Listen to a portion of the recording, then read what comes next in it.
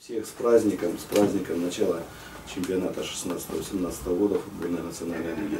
Всех болельщиков, ваших болельщиков, наших болельщиков, преданных болельщиков, э, представителей средств массовой информации.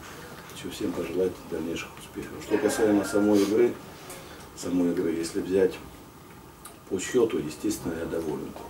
Держать э, выездную игру, хорошие команды, хорошие команды. Я доволен. Что касаемо содержания игры, э, есть вопросы по содержанию игры. Э, Но это вполне естественно, связано это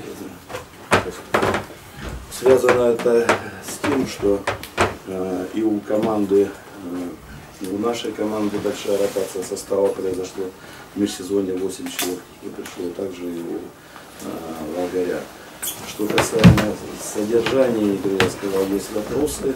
Шла, шла, скажем так, и Волгарь, наверное, изучил нас достаточно хорошо, и мы достаточно хорошо изучили команду Волгарь, манеру ее игры, и мы понимали прекрасно, что у Волгаря очень сильное качество. Это организованная оборона, плотная оборона, низкая оборона, плотная и быстрые атаки. Мы предупредили ребят э, в свое, в свое Э, ну, скажем так, э, какие-то меры приняли для того, чтобы нейтрализовать э, эти моменты и по возможности, скажем так, заставить играть Волгарь в позиционном нападении, уплотнив оборону нашу между линиями, в линиях и уповать на быстрые атаки, то, что у нас э, есть исполнители, быстрые исполнители и стандартное положение. Шла такая э, тактическая борьба на протяжении всей игры за инициативу. Все. Ну, нам немножко больше повезло, мы использовали два стандартных положения и победили. В принципе, если брать, брать по игре, э, ту игру и стремление, которое команда показала, наверное, результат был ближе к э, ничейному, справедливый, более справедливый, потому что команда Волгарь, ну скажем так, в этой игре не заслуживала поражения, старались до последних минут играть, но у них было преимущество, преимущество в одного, в одного игрока. И благодарен, очень благодарен ребятам за то, что они проявили характер и выдержали играть такое количество против такой мастеровитой команды, как Волгарь, в меньшинстве и добиться победы, это дорого стоит. Я поздравляю и команду, и наших болельщиков. Болов, Лукьянов и Иванов как-то по-особому настраивались на Волгарь? Ну, это естественная ситуация. Я не знаю, как они настраивались все, но акцент на это не делался все.